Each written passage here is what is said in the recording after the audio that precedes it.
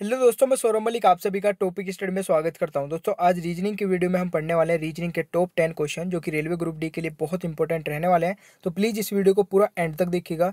जो दोस्त, अब तक चैनल साथ में नहीं जुड़ा है तो नीचे रेड कलर का बटन दबा करके खुद भी जुड़िए, अपने सभी दोस्तों को बताइएगा। बेलाइकन कौन रखिएगा। बेलाइकन ऑन रहेगी तो आपके पास नोटिफिकेशन पहुँचते रहेंगे।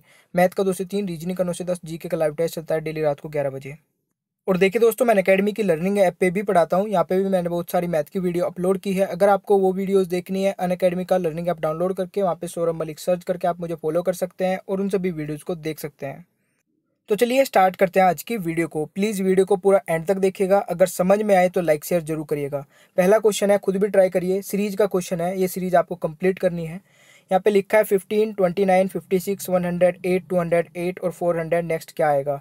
तो इस सीरीज़ में मैं आपको पहले सीरीज़ बता देता हूँ। सीरीज़ दो तरीके की हो सकती है तो इंक्रीजिंग हो सकती है डिक्रीजिंग हो सकती है, एक तरीका और भी हो सकता है इंक्रीज डिक्रीज दोनों हो सकती है। बट ये सीरीज़ आपको कैसी लग रही है? इंक्रीज की लग रही है, ठीक है ना? यानी कि इंक्रीज हो रही है। इंक्रीज किस किस कंडीशन में हो सकता है? या तो स्क्वायर होगा, या क्यूब होगा, या फिर कुछ प्लस चल रहा होगा, ठीक है? या फिर मल्टीप्लाई चल रहा होगा। अगर मैं यहाँ पे देखूँ, ये स्क्वायर और क्यूब तो हम मुझे कोई भी नंबर नहीं लग रहा है, ठीक है? तो ये स्क्वायर और क्यूब की तो कोई सीरीज़ नहीं लग रही है। फिर यहाँ पे अगर मैं बात करूँ मल्टीप्लाई की तो मल्टीप्लाई मुझे यहाँ पे लग रहा है, ठीक है, यानी कि टू की मल्टीप्लाई करे तो थर्टी ठीक है, और माइनस वन कर दे, कुछ इस तरीके से चल रही होगी।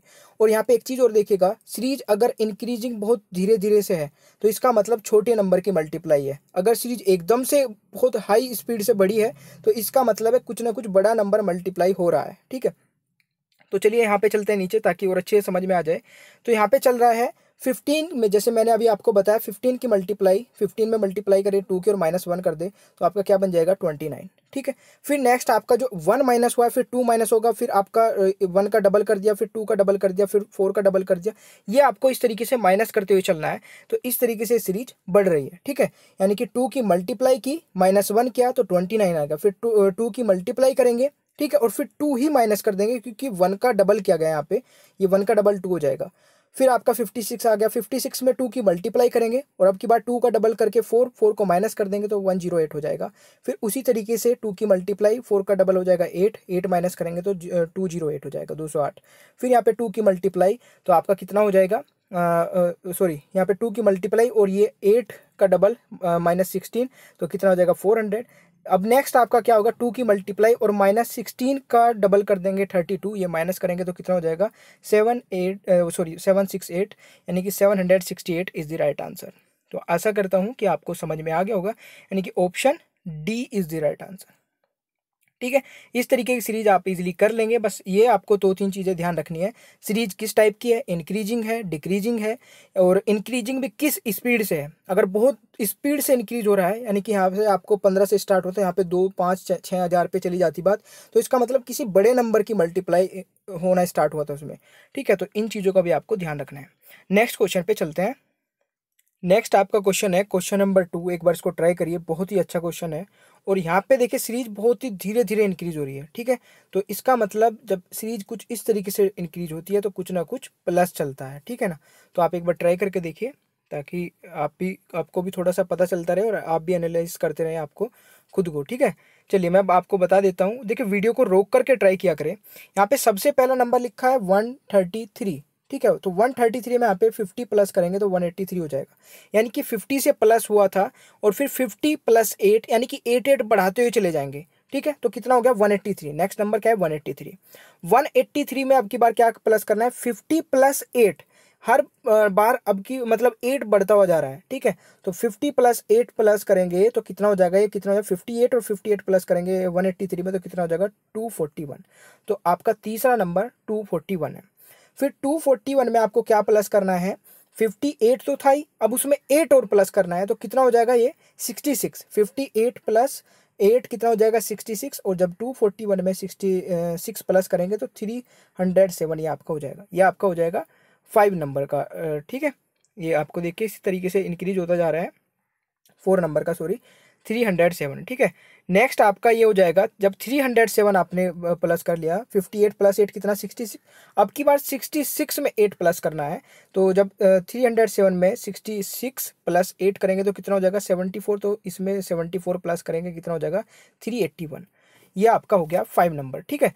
अब की बार आपको क्या करना है? थ्री एट्टी वन में ये कितना हो गया था आपका? Three sixty sixty six plus eight कितना होगा seventy four seventy four plus eight कितना हो जाएगा? Four hundred sixty three. ये आपका लास्ट नंबर है। तो नेक्स्ट क्या होगा? बहुत ही सिंपल है। सेवेंटी फोर प्लस एट कितना होगा? एट्टी टू एट्टी टू में एट प्लस करिए और वो इसमें प्लस कर दीजिए। तो कितना हो जाएगा? Five hundred fifty three is the right answer तो थोड़ा अलग से टाइप का क्वेश्चन था ये ठीक है? तो आपको आशा करता हूँ कि समझ में आ गया होगा। इस तरीके के भी कई क्वेश्चन आपके एग्ज़ाम में पूछे जा, जा सकते हैं। तो आप उनको इजीली कर लेंगे ठीक है? यानी कि option C is the right answer चलिए आशा करता हूँ कि आपको समझ में आया होगा। नेक्स्ट क्वेश्चन पे चलते हैं। Next question number three try करिए खुद भी और आशा करता हूँ कि आप इसका सभी राइट आंसर कर लेंगे, ठीक है? B M O D O Q F Q S next क्या आएगा? ये सीरीज़ आपको कंप्लीट करनी है। तो यहाँ पे आपको रिलेशन फाइंड आउट करना पड़ेगा। देखिए, यहाँ पे अगर मैं देखूँ बी और डी का रिलेशन क्या है? प्लस टू का है, ठीक है? और फिर आपका यहाँ पे देखूँ मैं डी और एफ़ का भी प्लस टू का है, ठीक है? तो यहाँ पे क्या हो जाएगा? एफ़ के बाद अगर मैं प्लस टू करूँ तो क्या आएगा? एच आ जाएगा, ठीक है भाई?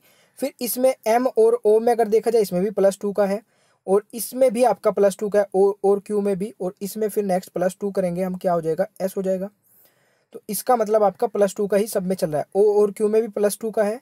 और इसमें भी प्लस टू का ही होगा। हाँ प्लस टू का है और इसमें प्लस टू करेंगे तो क्या हो जाएगा? यू यानी कि H S U is the right answer तो सभी में प्लस टू का चल रहा था। यहाँ पे बहुत सारी सीरीज़ आपको ऐसी मिलेगी, बिल्कुल डायरेक्ट जिसमें plus two plus three plus four plus five plus six कुछ भी ऐसा नंबर मिलेगा।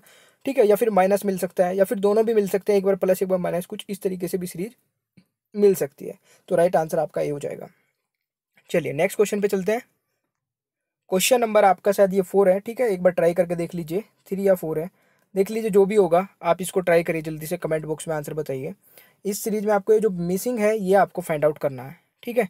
तो यहाँ पे B C D A B C E F G किस तरीके से रिलेट कर रहे हैं, वो आपको सबसे पहले फाइंड आउट करना पड़ेगा। तो यहाँ पे देखें तो माइनस वन मैं करूँ तो ये ए आ जाएगा, ठीक है? और फिर यहाँ पे देखिए, इसमें नेक्स्ट कितने ऐड करने पड़ेगा? प्लस फोर ठीक है? तो ये आपका कुछ इस तरीके से चल रहा है। माइनस वन प्लस फोर तो माइनस वन अगर हम कर लें तो यहाँ पे क्या आ जाएगा? आपका डी आ जाएगा। ठीक है तो मैं यहाँ पे इसको लिख लेता हूँ डी ठीक है, ये यहाँ पे। ठीक है, फिर नेक्स्ट अगर देखें, यहाँ पे फिर माइनस वन करें तो ठीक है बी आ रहा है। फिर प्लस फोर करें तो एफ़ हो जाएगा। और फिर माइनस कर दें तो क्या हो जाएगा भाई? माइनस कर देंगे ए तो ई e हो जाएगा। ठीक है, और फिर प्लस फोर कर दें तो आपका आई हो जाएगा। ठीक है, यहाँ पे चल रहा है minus one plus four, minus one plus four एक बार, ठीक है? तो अब की बार फिर आपको क्या करना है? माइनस वन तो क्या हो जाएगा? सी हो जाएगा, ठीक है? और सी में प्लस फोर कर देंगे तो जी हो जाएगा, और जी में फिर आपको माइनस वन कर देंगे तो आपका क्या हो जाएगा? एफ़ हो जाएगा तो राइट आंसर आपका क्या हो जाएगा? D E F is the right answer ठीक है? तो आशा करता हूँ कि ये आपका बी वाला राइट आंसर हो जाएगा। आपको समझ में आया होगा? तो खुद भी ट्राई करके देखते रहिए सारे क्वेश्चंस को, खुद भी एनालाइज करते रहिए, ठीक है? चलिए नेक्स्ट क्वेश्चन पे चलते हैं। नेक्स्ट आपका क्वेश्चन है क्वेश्चन नंबर फाइव ये है शायद, ठीक है? तो आप इसको ट्राई करिए और क्वेश्चन नंबर फाइव का राइट आंसर कमेंट बॉक्स में बताइए। यहाँ पे कथन दे रखा है, कुछ मोबाइल कैलकुलेटर हैं, कुछ कैलकुलेटर पेन है, कुछ पेन स्केल है। तो बहुत ही सिंपल है आपका ये क्वेश्चन तो आप इसको बहुत ही आसानी से कर सकते हैं। देखिए, यहाँ पे हम कैसे बनाएँगे इसका वेन डायग्राम कुछ मोबाइल कैलकुलेटर हैं, कुछ कैलकुलेटर पेन है और कुछ पेन स्केल है। तो कुछ इस तरीके से ये बन जाएगा डायग्राम तो वेन डायग्राम आपका क्या बन जाएगा? बिल्कुल सिंपल है। यहाँ पे मोबाइल ठीक है, कुछ कैलकुलेटर हो जाएँगे, कुछ कैलकुलेटर पेन हो जाएँगे और कुछ पेन आपका स्केल हो जाएँगे। ठीक है, यही तो आपसे बोला गया है क्वेश्चन में। कुछ मोबाइल कैलकुलेटर हैं, कुछ कैलकुलेटर पेन है और कुछ पेन स्केल है। ये तो बहुत सिंपल था। बट यहाँ पे जो निष्कर्ष है, ये बहुत इंपॉर्टेंट है। इसमें मैक्सिमम बच्चे गलती करते हैं। इसको देख लीजिए एक बार। यहाँ पे बोला गया है, कोई कैलकुलेटर स्केल नहीं है। तो देख लेते हैं भाई। यहाँ पे मैं एक चीज़ बता देता हूँ नहीं का अगर ऑप्शन नहीं होता है तो उसको हम नहीं को काउंट ही नहीं करते हैं। बट एक कंडीशन में होता है वो कंडीशन मैं आपको बताता हूँ। यहाँ पे बोला गया को, आ, कोई कैलकुलेटर स्केल नहीं है तो कैलकुलेटर स्केल के बीच में कोई रिलेशन शो नहीं हो रहा है बट यहाँ पे हम इस चीज़ को नहीं में काउंट नहीं करेंगे। क्यों नहीं करेंगे? क्योंकि जो आपका क्वेश्चन दे रखा है कथन दे रखा है उसमें नहीं की कोई बात ही नहीं की गई है तो इसका मतलब अभी हम इसको काउंट नहीं करेंगे। बट दूसरे वाला पढ़ते हैं कम से कम कम से कम कुछ कैलकुलेटर स्केल हैं। तो यहाँ पे दोनों कंडीशन एक ही क्वेश्चन में दे दी जाए तो तब आपका आंसर क्या होता है? यहाँ पे बोला है, कम से कम कुछ कैलकुलेटर स्केल हैं। तो इसका मतलब एक बार तो ये, इन दोनों के बीच में नहीं की कंडीशन दे दी, और एक बार कुछ की कंडीशन दे दी। तो इस कंडीशन में आप आंसर क्या लगाएँगे? अर्थात निष्कर्ष वन या सेकंड अनुसरण करता है। यानी कि आप दोनों को ही डिस्कार्ड नहीं कर सकते और दोनों को ही एक्सेप्ट भी नहीं कर सकते। ठीक है? अगर यहाँ पे एक तो निष्कर्ष आपका दिया होता, कोई कैलकुलेटर स्केल नहीं है, एक वाला तो ये होता। फिर दूसरा आपका मोबाइल और कैलकुलेटर के बीच में या फिर किसी और के बीच में, ठीक है? कैलकुलेटर और स्केल के बीच में की बात नहीं की जाती। यहाँ पे दे दी जाती है कि कम से कम कुछ मोबाइल कैलकुलेटर हैं तो तब आपके दोनों के दोनों ही कट हो जाते हैं, ठीक है? अगर मोबाइल और कैलकुलेटर के बीच में कोई सॉरी मोबाइल और कैलकुलेटर के बीच में तो है। अगर यहाँ पे मोबाइल और स्केल के बीच में दे दिया जाता, ठीक है? अगर यहाँ पे दे दिया जाता है कम से कम मोबाइल कुछ मोबाइल स्केल हैं दूसरे वाला आपका दिया जाता है कम से कम कुछ मोबाइल स्केल हैं तो यहाँ पे दोनों ही कट हो जाते हैं। बट जब एक ही क, एक ही चीज़ के बारे में एक बार नहीं दे दिया जाए और एक बार कम से कम कुछ या फिर होने की कंडीशन दे दी जाए और एक बार नहीं की कंडीशन दे दी जाए तो तब आप या करके आंसर लगाते हैं जो कि आपको ऑप्शन में भी दिया जाएगा। यानी कि या तो एक आंसर हो सकता है या फिर दूसरे वाला आंसर हो सकता है। आशा करता हूँ कि आपको ये वाली कंडीशन समझ में आई होगी। एक बार और बता देता हूँ जो इसमें मेन चीज़ है जो आपको ध्यान रखनी है। आपका जो कथन है और जो वेन डायग्राम है, बिल्कुल सिंपल है। उसमें कोई दो राय की बात नहीं है, बहुत सिंपल क्वेश्चन है। बट यहाँ पे जो इसमें निष्कर्ष दिया गया है, कोई कैलकुलेटर स्केल नहीं है। एक बार तो कैलकुलेटर को स्केल में नहीं के रूप में बताया गया निष्कर्ष में, और एक बार बताया गया कम से कम कुछ कैलकुलेटर स्केल है। तो यानी कि एक बार तो नहीं है और एक बार कुछ, कम से कम कुछ है तो इस कंडीशन में आप या तो वन वाला और या फिर दूसरे वाला हो सकता है। इस कंडीशन को आप आंसर बनाएँगे। ठीक है? अनुसरण करता है, यानी कि वही बात होगी। तो आशा करता हूँ कि आपको क्वेश्चन समझ में आएगा बहुत ही अच्छा और बहुत ही इंपॉर्टेंट क्वेश्चन है। ठीक है? चलिए नेक्स्ट क्वेश्चन पे चलते हैं। नेक्स्ट आपका क्वेश्चन है और इसका आप आंसर दीजिए। क्वेश्चन नंबर सेवन इसको हम मान लेते हैं। ठीक है? पता नहीं कौन सा क्वेश्चन चल रहा है। मैं आजकल क्वेश्चन नहीं डाल रहा हूँ बट सेवन है। ठीक है? इसका आप आंसर बताइए कमेंट बॉक्स में। कथन यहाँ पे दे रखा है, आजकल छात्रों को अपना परीक्षा, परिणाम घोषित कराने के लिए न्यायालयों की शरण लेनी पड़ती है। कथन में क्या बोला गया है? यहाँ पे बोला गया कि आजकल छात्रों को अपना परीक्षा परिणाम घोषित कराने के लिए न्यायालयों की शरण लेनी पड़ती है। निष्कर्ष में क्या क्या दिया गया है, ये देख लेते हैं। परीक्षा के परिणाम को घोषित कराने के लिए न्यायालय की शरण लेना आवश्यक है तो बिल्कुल नहीं आवश्यक है। ये तो बिल्कुल आप हटाई देंगे, ठीक है? यहाँ पे लेना पड़ रही है शरण लेनी पड़ रही है। इसका मतलब एक मजबूरी हो रही है, ठीक है? तो इसका मतलब ये आवश्यक नहीं है, ठीक है? तो इसको तो हम हटा देंगे, दूसरे वाला पढ़ते हैं। शिक्षा बोर्ड अपने दायित्व का सही तरीके से निर्वाह नहीं कर रहे हैं। तो इसका मतलब यही कारण हो सकता है कि न्यायालयों तक पहुँचना पड़ रहा है। छात्रों को अपना परीक्षा परिणाम घोषित कराने के लिए।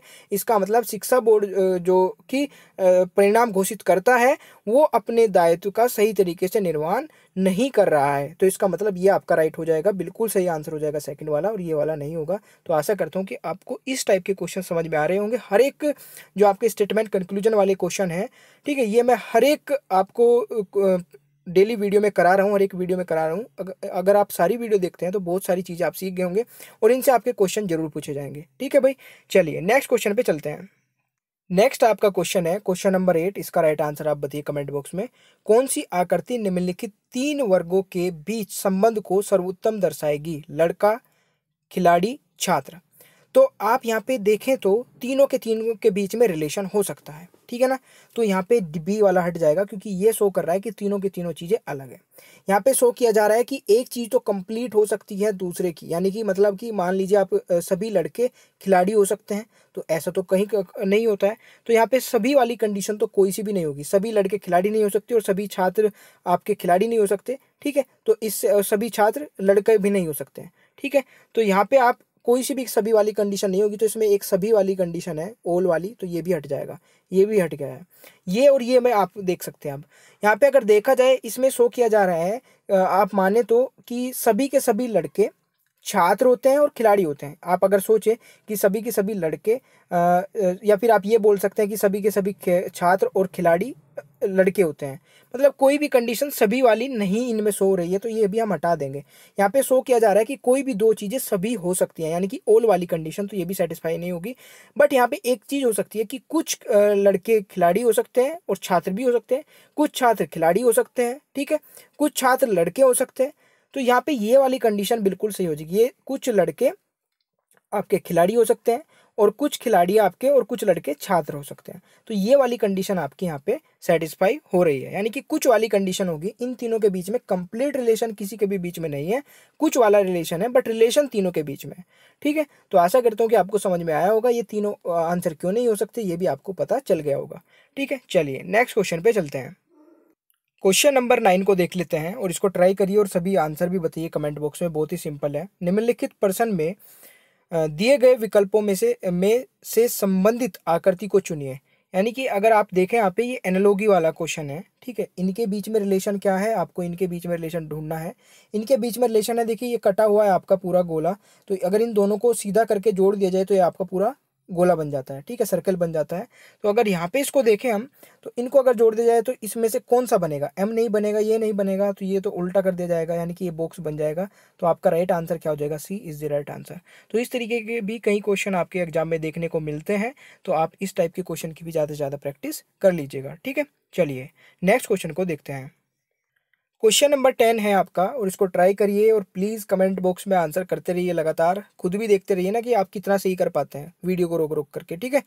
यहाँ पे दिया गया कथन, किसी शिक्षित व्यक्ति के जीवन मूल्य अशिक्षित व्यक्ति से भिन्न होंगे। यहाँ पे बताया गया यानी कि जो शिक्षित व्यक्ति होगा, उसका जीवन मूल्य थोड़ा भिन्न होगा, अलग होगा अशिक्षित व्यक्ति से। तो पूर्व धारणा यहाँ पे क्या दी गई है? शिक्षा का प्रभाव किसी व्यक्ति के जीवन मूल्य मूल्य पर पड़ता है। तो बिल्कुल सही बात बोली गई यहाँ पे, ये वाला राइट हो जाएगा, क्योंकि यहाँ पे भी यही दर्शाया गया है कि जो शिक्षित व्यक्ति होगा, वो अशिक्षित व्यक्ति से कुछ भिन्न होगा, उसके जीवन मूल्य कुछ अलग होंगे।